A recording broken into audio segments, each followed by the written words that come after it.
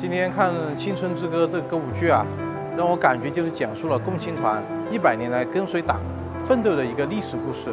在刚刚的歌舞剧中，讲五四运动，讲青年学生运动，让我们感到非常的震撼。同时呢，讲到青年突击队关于青年的奋斗历程，展现的也淋漓尽致。所以我来自郴州，郴州也是个红得耀眼的革命热土。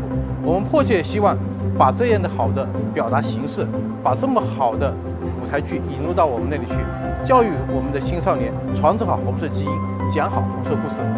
当我看到那个十八栋的身影的时候，我特别激动，我特别自豪。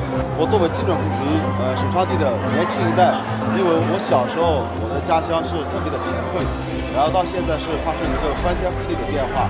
这是来之不易的。